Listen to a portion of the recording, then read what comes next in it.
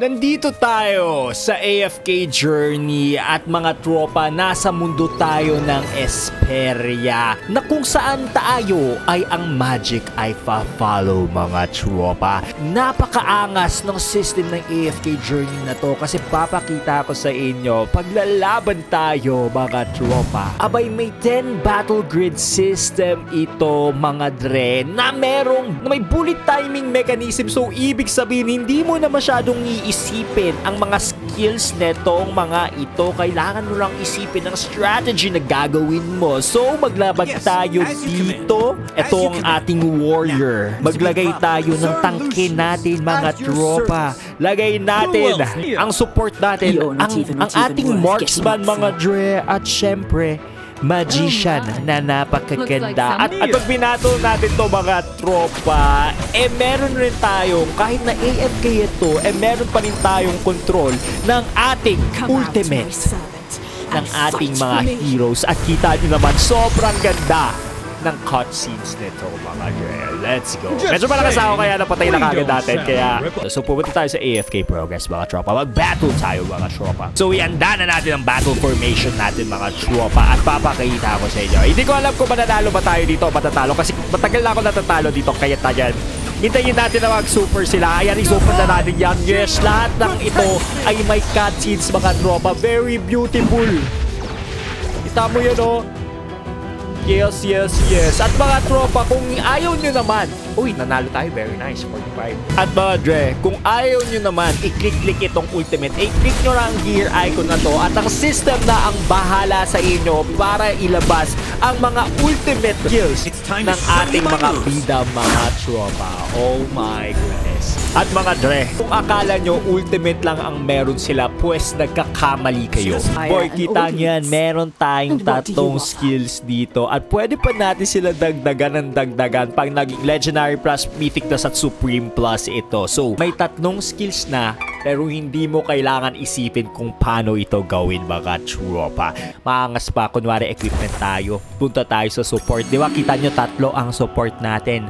Boy, one tap, one equipment lang to. Pag in-equip mo yan, ibig sabihin nun, one tap, one equipment. Lahat ng equipment nito ay equipment na rin ng tatlong support natin. So, ganun na ang wala na tayo talagang masyadong iisipin dito sa AFK Journey. Sobrang seamless lang ng ating laro dahil sa mga system na ito, mga tropa. Maangas rin ang storyline nito. So, punta tayo dito.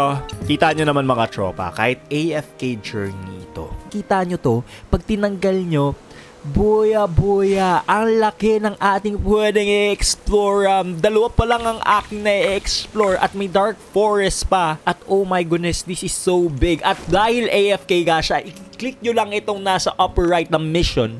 Abay siya na ang bahala sa inyo. Sige, mag-talk tayo. At ito pa, yung storyline dito mga tropa, lahat ng mga characters ay no the merong voice line. So buhay na buhay talaga sila dito, lahat. Kaya super immersive talaga ang AFK journey na to. At mga dre, bakit ba tinawag na AFK journey? Kasi pag click nyo tong AFK progress, nag-actively collect tayo ng mga ating resource. So pag click ulit natin to, ayun o, plus plus 27,365 coins per hour.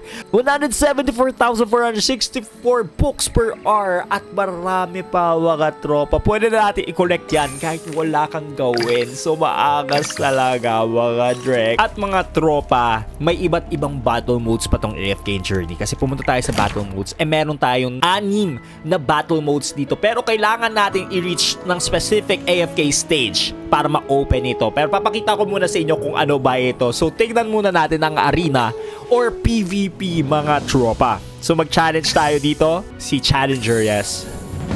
Talunin natin to. Ayun, level 28 na ako. Talo ka talaga dyan.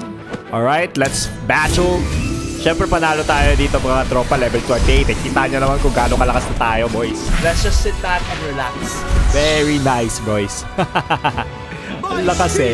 So that's how you do PvP mga tropa. So makikita nyo rin dito, meron rin iba't ibang lakas kasi. 6-9 yung lakas nito, ito 24, ito 34. So try natin yung 24,000 kung kaya natin talunin. Hindi ko sure kung matatalo ba natin. Level 50 na rin ang ating kalaban dito. So let's start. Tignan natin kung mananalo tayo dito. Kaya ba natin manalo? Para nanalo nga yata tayo, boy. Oh my goodness. Ano yun? Boy, naging... Boy, matatalo tayo! Bakit ganun? Ay, ay, natalo tayo. Kita nyo naman natalo tayo, di ba? So, ibig sabihin nun, eh hindi pa ganun kalakas ang ating mga heroes, mga tropa. Kasi ang pinakamataas sa tier talaga dito ay ang S and tier natin o itong gold And what na to, mga tropa. So, pwede tayo mag-recruit mga tropa ng mga heroes natin dito sa Mystical House at pumunta ka lang dito sa Noble Tavern at try natin kumuha ng mga S-level heroes yan. Lahat yan, try natin kunin lahat yan mga tropa. Let's go. Okay, recruit. Tignan natin. Kikita nyo naman kung gaano kaganda ang animation ng pag-recruit natin mga tropa. Tignan natin. Dapat may LUBS yan tayo na isa. What's wrong with the good? Ah, sige, sige. Gusto ko makita kung ano yung STN natin. Aha. Above the grave Ayan na. stands the tombstone. Above the tombstone stands me. Nakakatakot yung STN natin. Igor, let's go! Ay, sige, okay na ako. May STN na ako eh. Alright. Ito for sure. May STN na naman tayo. Bigyan mo ko STN, baby. Yan! Do you need Ano to? Oh, oh, oh, oh, oh, oh, oh, ang ganda. Save the best for last. The path back to the throne is illuminated na only tangke to, boy. I love it. Let's go. Mga trupa. Kita nyo naman to, boy. Ito, ang ating magiging warrior, mga tropa. At mga nakita nyo, diba, level 51 to. Pipindutin natin to, ilagay natin. At ang level nila ay magkakapalit, mga dre. Oh my goodness. Ito red. Ibahin natin. Yes. Yes. Apat ng ating S tier. Oh my God. Ang AFK journey nga pala, mga tropa, ay multi-cross platform ito na pwede nyong i-download sa PC at mga mobile phone nyo. Ito gamit ko ngayon ng PC kaya makikita natin lalo ang napakaangas na, na graphics nito mga tropa. Alright mga tropa, dahil natapos na tayong arena, napakita ko nyo na rin sa inyo kung paano tayo lumakas dito. E bye, itry na natin ang battle modes ngayon ng Dream Realm. Kasi lumakas naman tayo, di ba? So, try natin ito kakalabanin natin ang isang napakaakas na kalaban dito. A- ano tawag dyan? PvE mga tropa. Player versus enemy. So let's battle mga tropa. Ilabas natin ngayon lahat ng mga malalakas natin. So ang tangke natin ay nasa gitna. Ang warrior natin ay nasa gilid. Ang ating support ay nandito sa gitna. Marksman, yes. Cheese. Eto. Si Mirabel. So let's battle. Tingnan natin kung matatalo ba natin to. Okay? Aha. Boy, ang punat boy. Kita mo naman yan, oh. oh. Sige, sige. Nananalo yan. Nanalo, nanalo, nanalo. Okay, okay, okay. Okay lang basta mataas support. Okay. Aha. Para nananalo tayo, boy. Hindi ko alam na nangyayari, pero... Oh, yes, the beautiful flame. Okay. Boys, lahat kasi S tier eh. Lakas eh.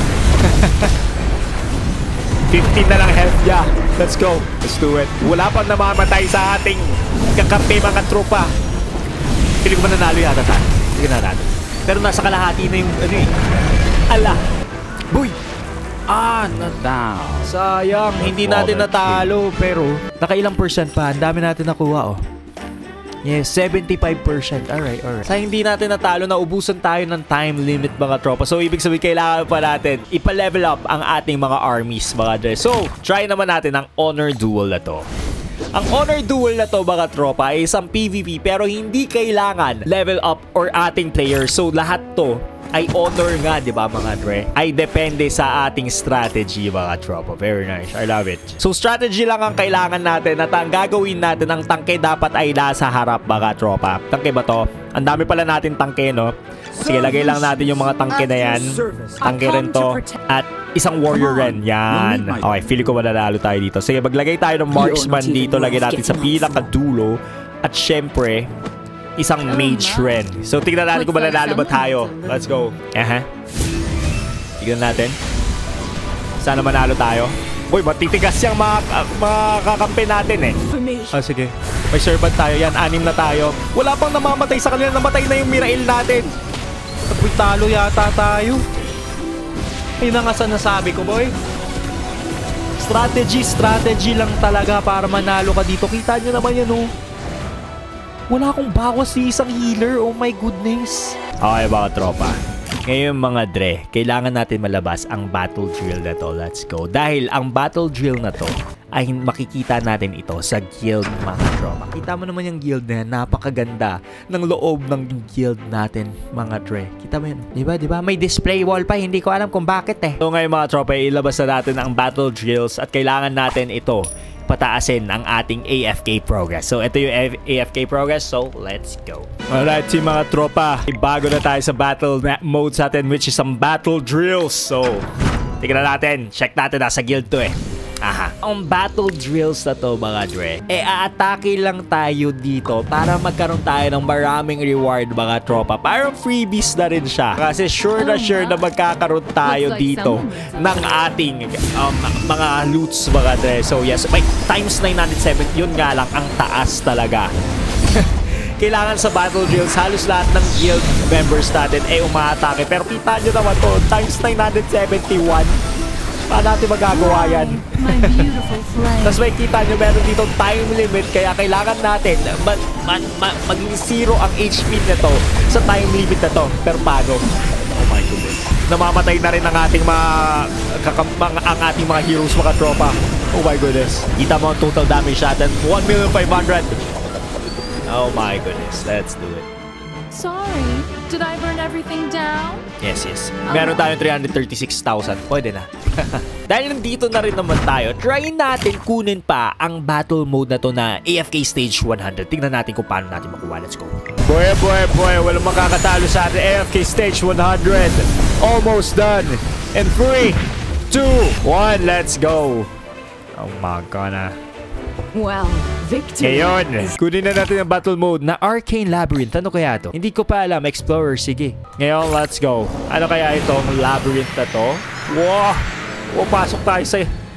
Ah, Blessing Gate? Na feeling ko mananalo kagad tayo. Ano kaya to? Arcane Labyrinth? Bakit kaya? Kasi may maze na tayo gagawin. I don't know, bro. Ayun. Ah, oh. Pure Crystal Gate or Relic. Defeat enemies to get the Relic Sanctuary. Ito, which can be used to purchase item at feats to ito na Relic Gate. Sige. Oh, oh, Labyrinth. Oh, sige. Wala, wala makakatalo sa akin dito, promise. Let's go, Pansit. Paktay ka diya sa ako na lakas-lakas ng aking ano. hanggang 2 to 15. Well, Okay. So, 15 ang ating kakalabanin dito. At mga dre, ayan on, di ba? Buhay na buhay ang ating storyline, mga dre. Let's go. At mga tropa, dito na muna Yes. siguro itatapos ang video, mga tropa. Kung gusto ang video, huwag niyo kalimutan mag-like, share, subscribe, show, change. Have you.